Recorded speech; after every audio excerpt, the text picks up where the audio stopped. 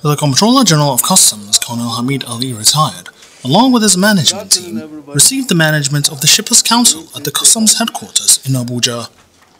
During the meeting, the Executive Secretary of the Nigerian Shippers Council, Emmanuel Liambi Jime, appreciated the efforts of the Nigerian Customs Service and says the signing of the Memorandum of Understanding will go a long way in improving the ease of doing business in the country.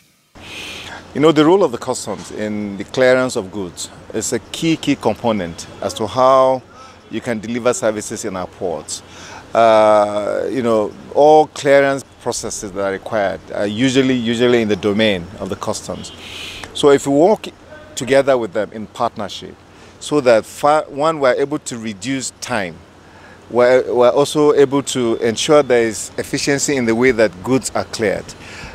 It benefits shippers because time for a businessman it's actually always a key key component as to how cost is calculated.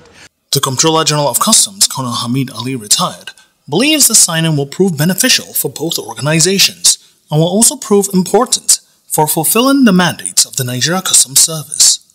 Signing this MOU today, uh, like I mentioned in the hall, we have been working very closely with the Shippers Council, but this will further strengthen what we are doing in order to meet our mandates. And with the involvement of the dry ports now, which is spreading across the nation, it then means that we need to also extend our relationship and also strengthen the synergy between us so as to be able to meet the demands of those ports that are coming up on board.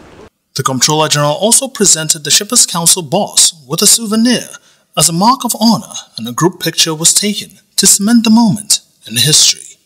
Abdul Karim Zermi, NCBN, Abuja.